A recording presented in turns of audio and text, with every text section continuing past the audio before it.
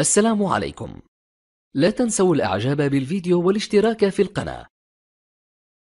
تشجيعا لنا لنستمر بنشر المزيد إن شاء الله. نائب عبد المنعم إمام. حين تنتقل مشاكل الناس من الأحياء والقرى والنجوع إلى العاصمة لتضطرني كعضو مجلس نواب للحديث عن شارع تم بعد رصفه بشهر تكسيره من جديد. فنحن هنا لسنا أمام أزمة شارع ولكننا أمام أزمة وطن غاب عن مسؤولي المحليات فيه الحساب فأساءوا التصرف.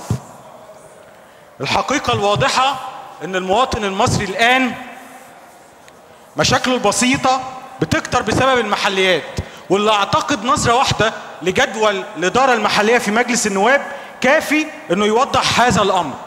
مسؤولي المحليات اللي في الغالب منهم بقى الهم الرئيسي هو التربح أو تعقيد الناس. فساد المحليات وصل لمرحلة قال عنها عضو مجلس نواب سابق في هذا المجلس إنه فساد المحليات وصل للركب. وأنا بقول لك يا معالي الوزير فساد المحليات أكل الركب. الوضع في المحليات الآن لم يعد مطمئنا لا للبلد دي ولا لمستقبلها. ثمار التنمية واللي بيحصل في كل حتة في مصر أنا بحمل عدم شعور المواطن المصري بيه لطرفين غلاء الأسعار وفساد المحليات. مش معقولة إنه في ظل هذا التطوير اللي بيحصل نيجي نبص على الإصلاح الإداري داخل التنمية المحلية لا نراه. نلاقي مجلس مدينة فيه ألف موظف.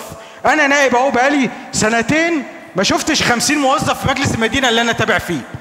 وبالتالي هذا الأمر بيضع مسؤولية كبيرة على الدولة وعلى وزارة التنمية المحلية لمراجعة أولوياتها في كيفية ضبط العمل داخل دواوين المجالس المحليات في كل محافظات مصر وعلى المجلس بإصدار قانون المجالس شكرا.